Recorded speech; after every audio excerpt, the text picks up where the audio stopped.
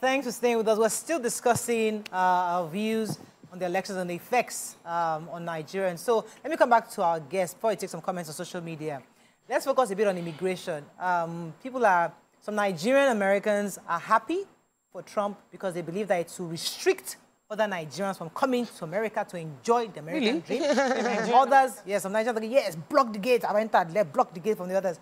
Others are saying it should stop right. other loved ones from coming to America. And they're really scared of the immigration policies Trump might come up with going forward.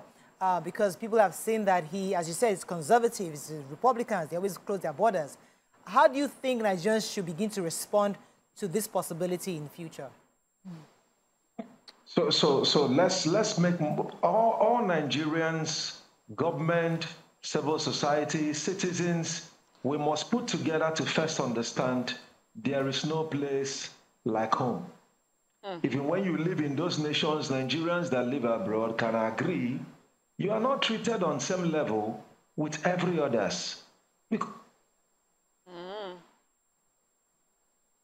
Ah, is that American connection? Unfortunately, network is bad in the U.S. let's come back. Let's take a few comments. We'll come back. Yeah. so we have comments. Someone said that um, her Yesterday says, my brother's son is a medical doctor in the United States. Doing what he knowing what he achieved in four years is mind-boggling. Mm. Now, when he sends chicken dollar and you change it to Naira, you're instantly a millionaire. She also spoke about the fact that um, life could be unfair sometimes. Kamala um, is sitting as a, okay, he's, he's, she's, he's comparing UK and the US, so he's not really relevant. Okay, let me tell you, I'm told he's back. Um, sir, are you there? Sir Chukwuma? Yes, I am. Go, I am. I am. Go ahead. You are saying. Okay, so so so there's no place like home. We must collectively fix Nigeria to work for us all. Only at that point you can now have only people with serious business with the US that will foster our national interest visiting those nations, not to take anyhow kind of jobs. The jobs that people do as nationals when they go into another nation represents their nation. Mm-hmm. It tells the story about them. If Nigeria, if as a country, we strengthen our foreign policy such that if as a Nigerian, if I must go to the US, then it has to be as an expert to go there maybe as a professor, lecturing in their university, presenting the good image of my country, or working in their health sector, right? Or in research, public policy, certain things that puts Nigeria in the good light. Some nations have been able to do that significantly. But when you have a situation where most Nigerians go to some of those countries and do like some of the jobs, right? That ordinarily they will not do in their own country, then it doesn't put our nation in the correct light. Right. But the way we can change it is not maybe through activism, it is actually through policy, fixing the things that need to be fixed. Okay. Because right. until until we get to that point where many Nigerians will not feel the need and will not see it as a miracle when somebody gets a visa to the US. Mm, testimony time. I'm, I mean, some some pastors pray for visa, like visa anointing. You come with your passport.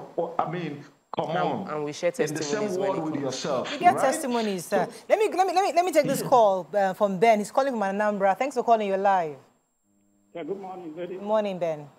Yeah, please, I want to make some input. Please, go ahead. Uh, in connection with uh, uh, Trump and Harris, there are some areas, you know, I would like you to touch on.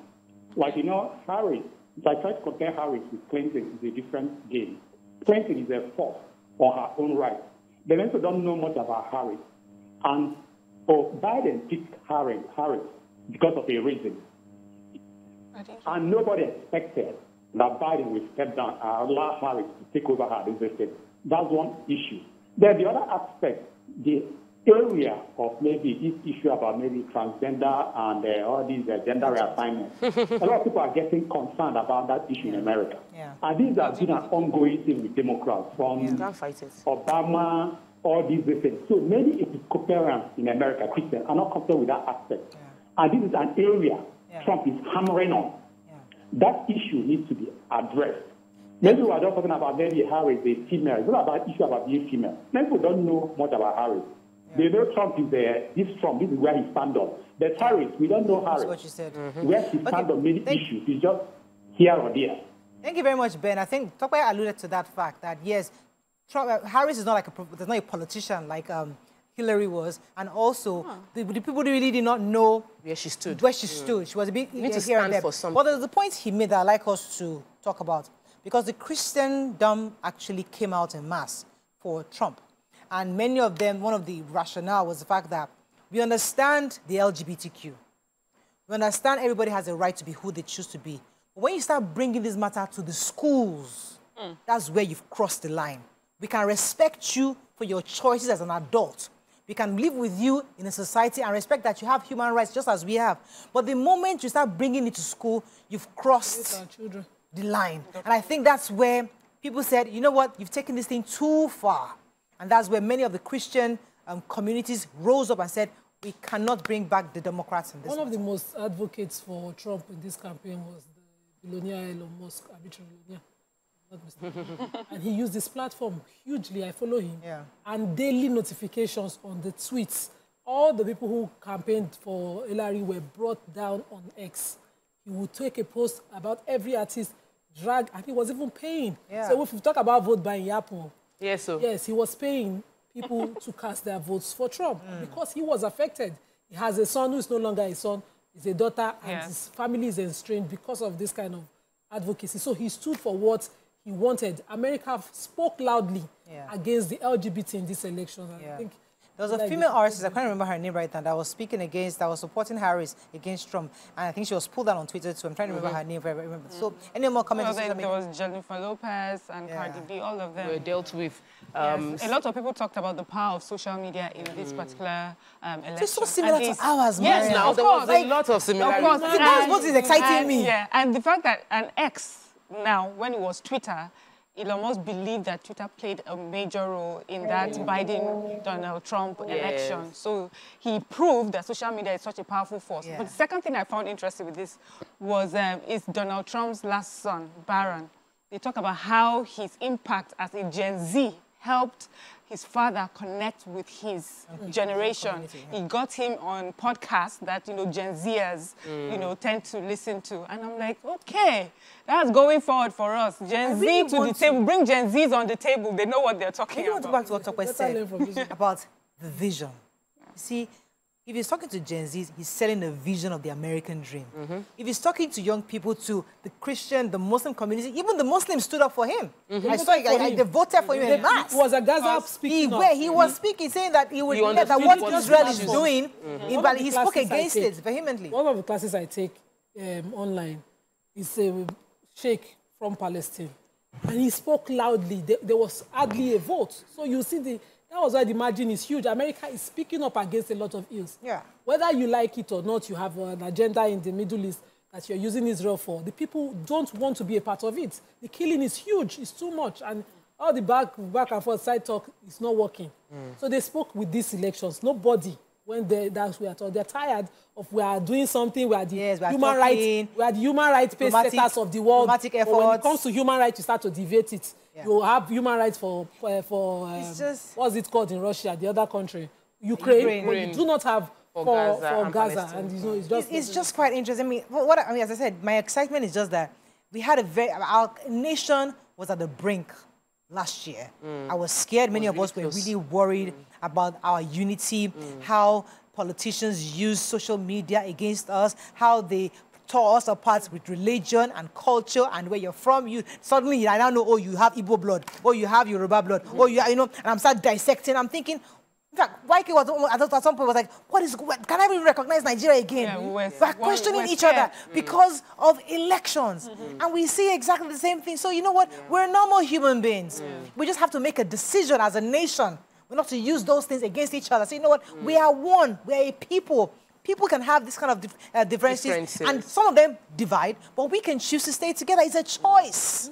And I think that, for me, that's a major lesson that the US of A had exactly the same issues that we had, and we've seen the outcome of their own elections. So I think as I, I think I'd like to end on that. But Mr. Okay, well, let me let you find a wrap up on this as we as we move on. You have comments on social media? You want to take? Mr. Okay, well, yeah, any yeah, final okay. words? Final okay, words? Yeah, Okay, so fi final words to fellow Nigerians would be, we have no other nation but ours.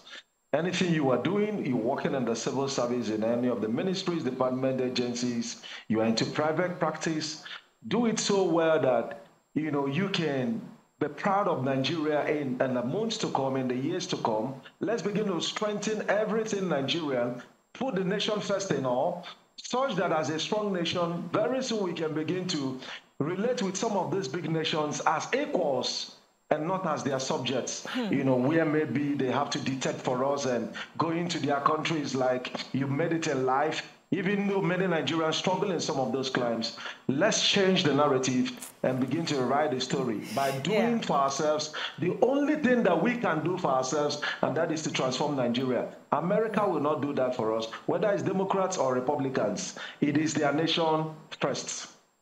You know, there's something I want to say, and I've been thinking of how to say it. I'm, trying, I'm trying to very politically correct. I've been thinking of it in my head, how do I articulate it where it doesn't come out the wrong way? Okay. Because I've always said this, and I've always said in different, in different fora where I had opportunity to speak on this kind of issue. You know, we always try to force Nigeria, we are one. Mm. Don't look at your Igbo, don't look like you're Yoruba, don't look at that, we are just Nigerian. And I keep saying, that's so incorrect. I must understand you as a Hausa person. I must respect you first. As I respect your culture, your tradition, where your history, what made you you. Before I now say you're a Nigerian. Because if we continue to try to uh, gloss over our uniqueness, we will continue to fall apart. And that forcing of we are United States of America. No, there are still some people who are local the guys from Florida are different from the guys from California. Mm. The guys from, from New Hampshire are different from the guys from Michigan. They are uniquely different, but they are the United States of America. So we stop, stop forcing, oh, Nigeria, Nigeria. Nigeria is important, but we must first of all acknowledge and understand that I am an Igbo person. I'm respect. proud Igbo. Respect me for my differences. Respect me for my uniqueness. Respect me for my tradition and my history. Then understand that, yes, I have agreed to be a Nigerian, to you. So we are united, but not because I am, I'm, I'm, I'm forgetting who I am.